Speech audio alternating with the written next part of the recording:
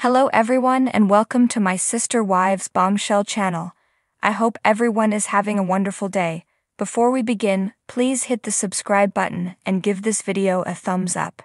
At the point when Sister Wives fans saw that Christine Earthy Colored left Kody Brown, they cheered. Now that he lost three of his spouses, fans wonder about his compensations in paradise. Responding to an inquiry regarding that, he offended Robyn's stepmom. As it occurred in a live meeting, might he have quite recently placed a nail in the casket of his last excess marriage?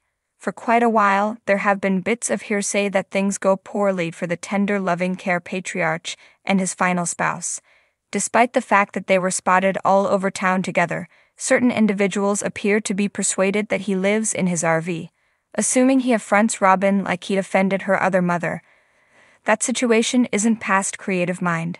Sister Wives fans could do without Kody Brown or Robyn. Thus, they appear to trust that their marriage closes. Then again, the two of them appear to be so poisonous toward different children in the family that different fans think they merit one another. Progressively, the tender, loving care patriarch appears to uncover a dreadful side to him that doesn't agree with watchers.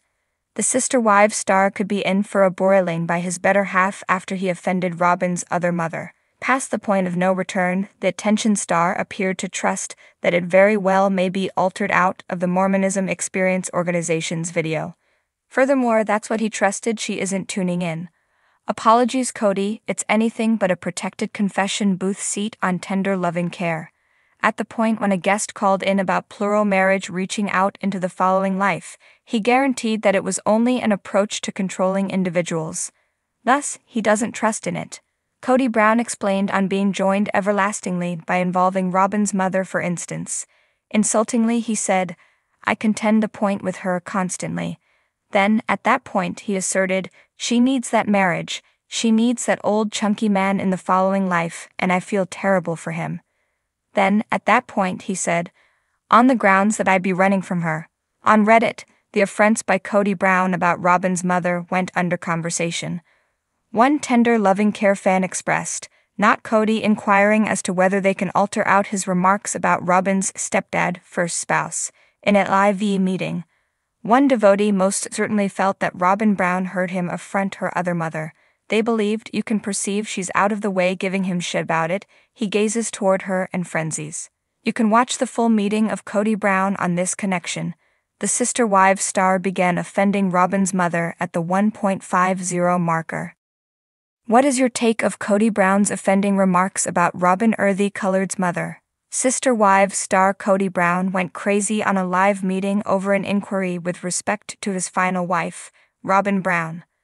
What might have potentially set off him to flip out? As of now, essentially anything. Watchers have watched Kody Brown become progressively off the wall over the last couple of seasons he freaks out suddenly.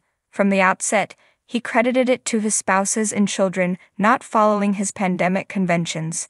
Then, at that point, his third spouse, Christine Brown, concluded she was leaving the family toward the start of 2021.